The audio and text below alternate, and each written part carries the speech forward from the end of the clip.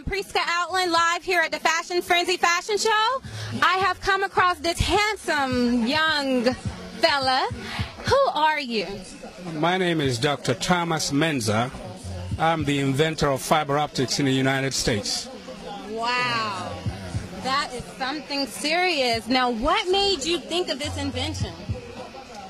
Well, there are four uh, scientists in the world that uh, were major players in the fiber optics space.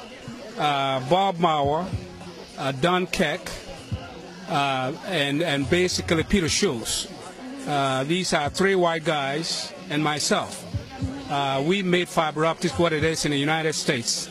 I was working at Corning Glass Works, and fiber optics has been developed but they had a problem in, in manufacturing it. And my first invention, uh, the so-called Mensah system, allowed fiber optics to be manufactured at 20 times uh, the speed of production. And this allowed uh, fiber optics uh, to be uh, to replace copper wires throughout the United States. So when you sit on your computer and you're downloading pictures, and your pictures of your friend comes easily is because of the work we did. Wow. Or, or nowadays you see people uploading uh, videos in YouTube mm-hmm. uh, because of the large bandwidth in fiber optics makes that possible. Wow. You have a billion people connected to the fiber optics in the world. But we were the few guys uh, that made that happen.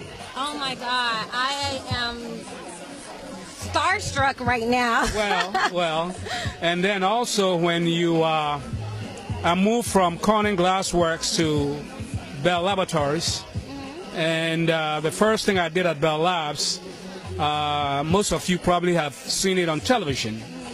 When you see the crosshairs on TV with the smart bombs hitting targets, I have three patterns on the navigation system that direct the smart bombs uh, that hits target. You can put it through a window in a building wow. because of uh, what we did, the fiber optic guided missile.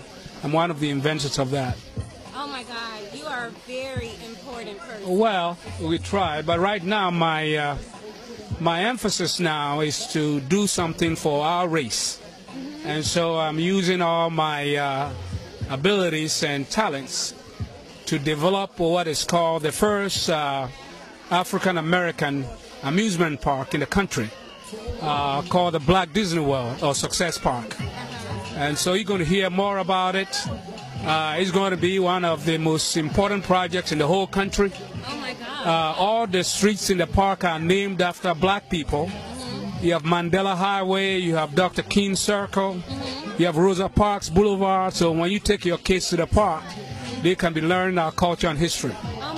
Now, will you have a street called Outland Street? Of course. Okay, great. I will be honored to have my own street name. All right. Okay. Well, what brings you here to this event? Well, Charles Mathis is a good friend, mm-hmm. and uh, I like him very much. So, when Charles is doing anything, uh, we want to support it.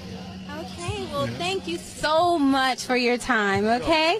Pleasure. Uh, once again, Priska Live here at the Fashion Frenzy TV show. We'll see you soon.